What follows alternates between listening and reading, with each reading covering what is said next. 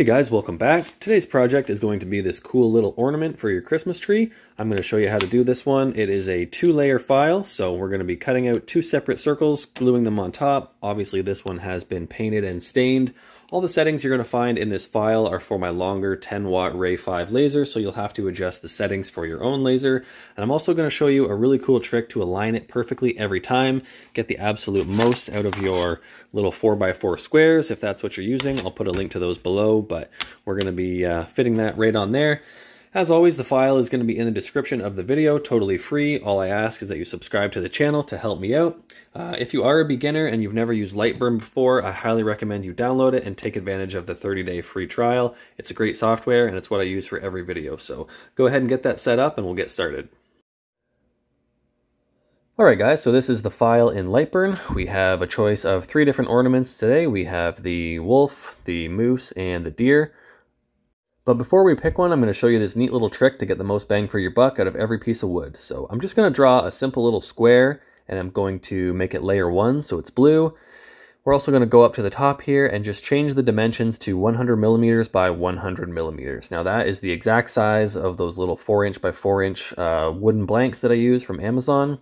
We're going to turn this thing on an angle and set it right about there. So I think we'll use the reindeer for this one. So I'm just going to come over here and copy this ornament.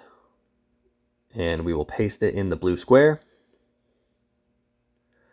As you can see, it fits perfectly, but if I had the square horizontal, it would not fit. The top of the ornament would be outside of the piece of wood. I want to make this ornament as big as I possibly can on a 4 inch by 4 inch square, so that's why I have it turned diagonally.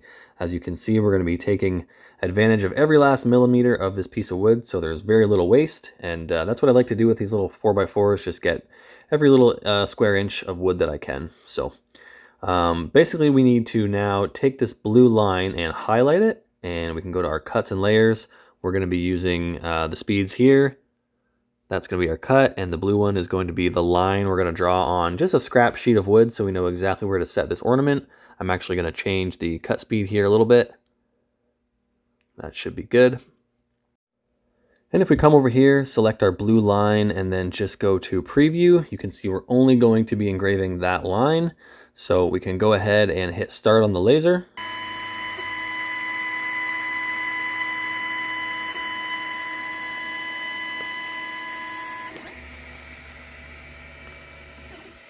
So you can see we have our square and our blanks fit perfectly on that square. So we know exactly where that ornament is going to print. You can see I've used this method a few times before just to line myself up and get every last millimeter of that piece of wood. Okay, so now that we've got our line burned on our scrap piece of wood, we can come back in here, select the ornament we want to engrave and cut, and just hit start.